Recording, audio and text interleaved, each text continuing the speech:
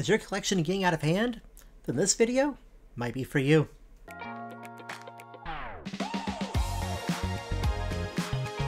Hello and welcome everybody. I hope you're all having a great and the amazing day, all you good beautiful beings. I am 16-Bit Ferret, and this week we're going to talk about organization for a collection.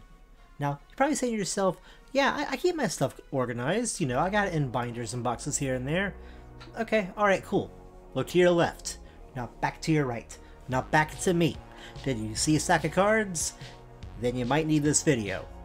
And it's okay. If you're actually seeing that right there, don't feel bad. I, I kind of got one myself too.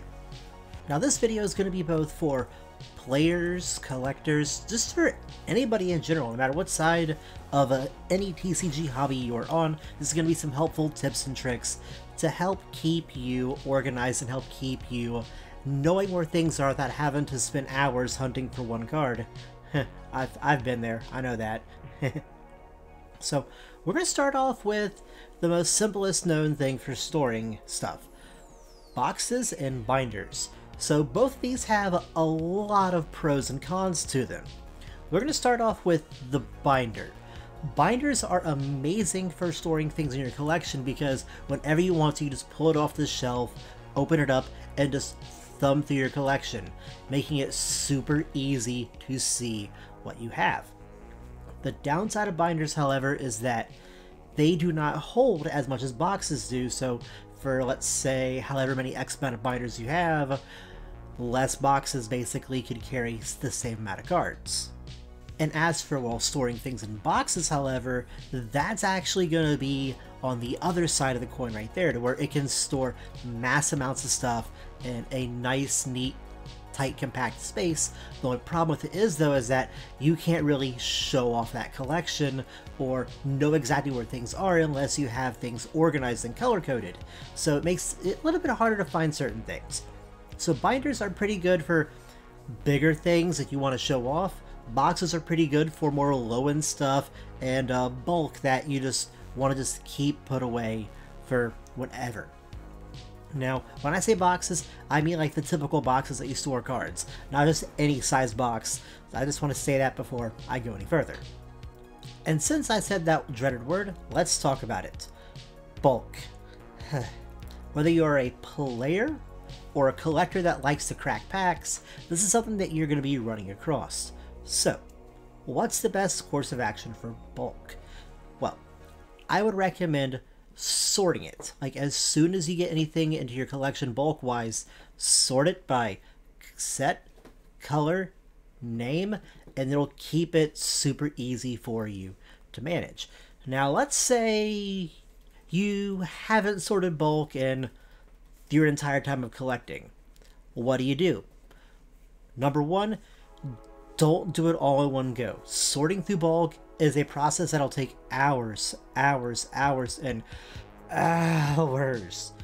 So find a comfortable space, find a place where you can just put on something that has background noise, and just listen to your favorite show as you keep going through it. So when you do go through bulk, here's what I recommend doing sort things by set. Once you have everything sorted by set, so going pile A is this set, pile B is this set, pile C is this set, start to sort then by color. So if it's Magic the Gathering, be like, this is white, this is blue, this is red, this is green, so on and so forth. And then after that, sort by rarity, then name. This will make your life so much easier for when you're like, okay, this card right here went up in price. I need to go find it. You're able to go through like, uh, okay, here, pull out a chunk, sort through a little bit, and find it. like This will make your life so much easier when it comes to things. And yes, it's going to be a lot of work, but it's going to be worth it. I promise you. And now that we talked about sorting and about bulk stuff and about large numbers of things, let's talk about ways to keep track of a collection. And that is the wonderful world of Excel. If you have a Google Gmail account, congratulations, you have access to Google Drive. And that, for free, you can operate Excel. Excel is an amazing, amazing way to keep track of your collection. You can have separate tabs pulled up so you can split things up by card game, so Magic the Gathering, Pokemon, MetaZoo, sealed and graded. That's kind of like how I got mine set up, and then bracket it down based off of what set, what you have, condition, the number. This way, if you are ever curious what you have and stuff, you can just go pull that up, bam, and you know you'll know what you have. And that way if you're sorting through bulk like okay bulk has this this amount right here boop and you'll know what you have instead of having to dig through everything which was another thing that'll make your life a whole lot easier.